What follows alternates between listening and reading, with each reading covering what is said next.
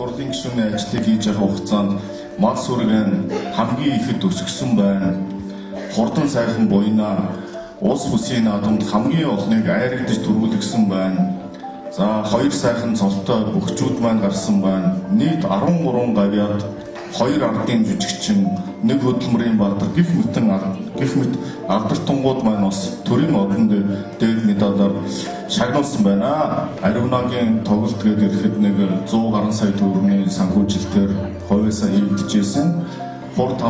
бас нэг 50 гаруй сая төгрөгийн санхүүжилтээр хувьяасаа хийгдэжсэн. За жавхлангийн концерт бас нэг 100 гаруй сая төгрөг болчтой.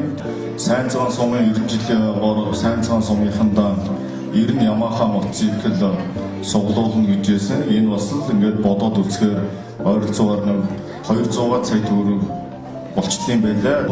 Хүүхдийн баяраар ишиг хөөрхөн нэртэй жүжиг бардам туулай гэх мэтэн тоглолтууд давхарцсан доогоор 5000 гаруй хүүхдэд үн төлбөргөө төлбөрийг бол би хувьяасаа хийгээд хүүхдүүдтэй үн төлбөргөө бас үзүүлж ирсэн байна хүүхдийн баярын тохиолдуулан 0-6 насны 2840 хүүхдэд бэлэг гардуулж паркт өнгөө тоглох эрхийн бичиг ноёдон бас өгч ирсэн байна. Жаргалантай дэлгэр бидний Жапан хамтлагийн хамтарсан хүндлэлийн тоглолт зохион байгуулж 700 гаруй ахмадуудаа бас урьдчилан үзүүлж ирсэн байна.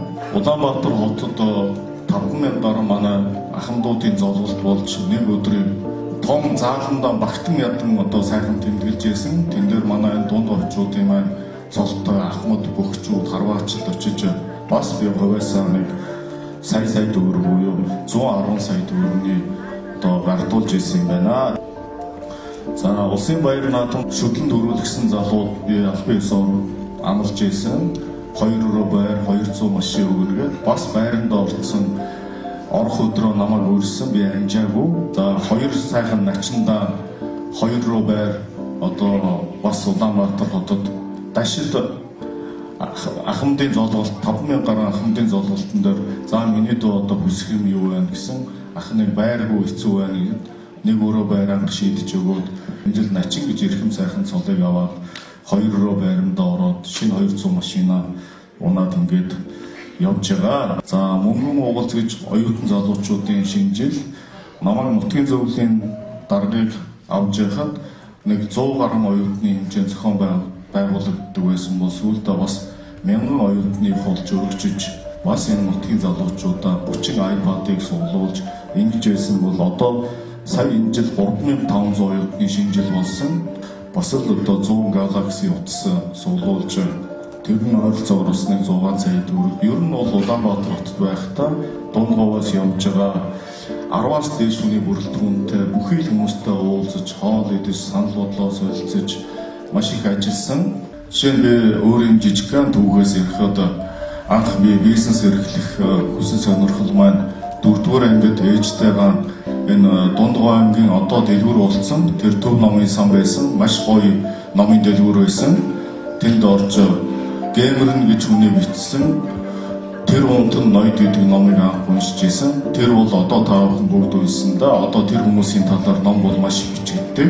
Рокфеллер, Ротшильд, Генри Форд гих мэтлэн бас л одоо дэлхийн түүхийг бүтээлсэн хүмүүсийн агуу их түүх намтар.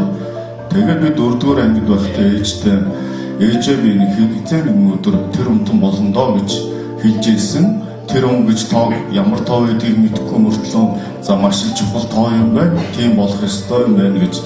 Энэ ном бол бас миний амьдралыг өөрчилсөн номоо би тэрнээс хойш бизнес дурлж ажил хөдөлмөр дурлж одоо илүү их ярихаа ярихаасаа илүү хийж үтээх нь зүйтэй юм байна гэдэг бодол санаагаар хүмүүжиж одоо амьдралдаа хийж үтэхийг эрхэм болгож явдсан байгаа юм. За товчхондоо юм байна.